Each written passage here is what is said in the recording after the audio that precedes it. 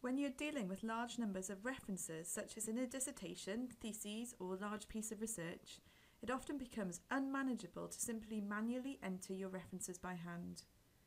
EndNote is one of the pieces of reference management software available on the market which is designed to make your academic life a little easier by allowing you to build a collections of references for your research.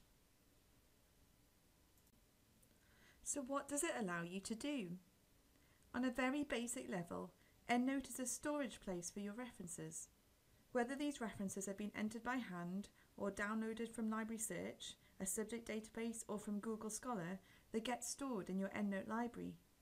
There's also an option to attach PDFs, figures and other files to those references in your EndNote library so that becomes not only a place to store your references but also related content as well. Once the references are in your library, you can then create standalone bibliographies or use the Cite While You Write feature in Microsoft Word that allows you to insert references in your chosen reference style with only a few clicks of a button. However, EndNote is not just a storage tool, but it can also help you organise your references and content by either creating groups, adding notes, or keywords. These keywords and notes can be either entered in the reference records themselves or as an electronic sticky note in a PDF. EndNote also has an internal search box which allows you to search for your notes and keywords, thus making it a much more powerful tool than simply a long list of static references. So having highlighted the main things that EndNote allows you to do, it is also important to highlight what EndNote is not. Firstly, EndNote isn't a magic wand which will solve all your referencing needs. Fundamentally, it is a piece of software and it is only as good as the information that is inputted into it in the first place. Leading on from this, it is not a replacement for knowing your referencing style inside out.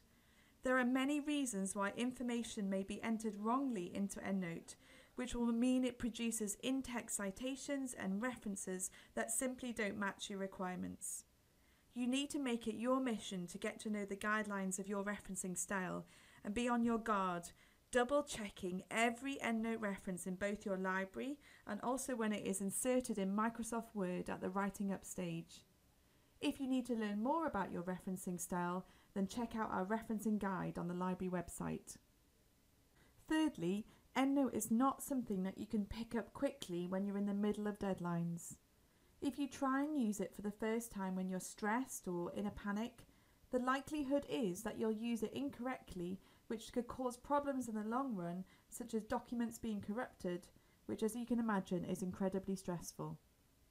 So, if you're thinking of using EndNote, it is advisable to get to know EndNote and how it works as soon as possible so that when your deadlines arrive, you know how to use it correctly and it becomes a time saving device rather than an extra headache.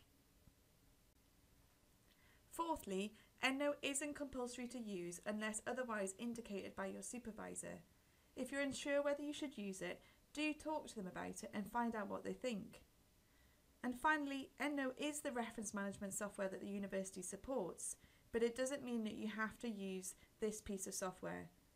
It needs to be right for you, and there may be another piece of software out there that meets your needs in a better way.